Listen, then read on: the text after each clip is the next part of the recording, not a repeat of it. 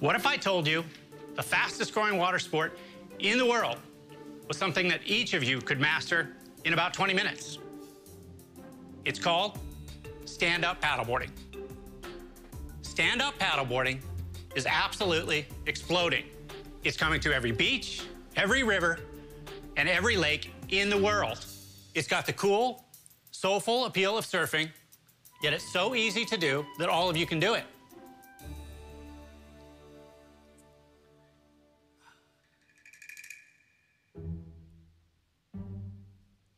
Mike, uh, my company is, uh, it's so easy. Uh, you, you can do it with your friends. You can do it with your child. You can even do it with your dog. It's, uh,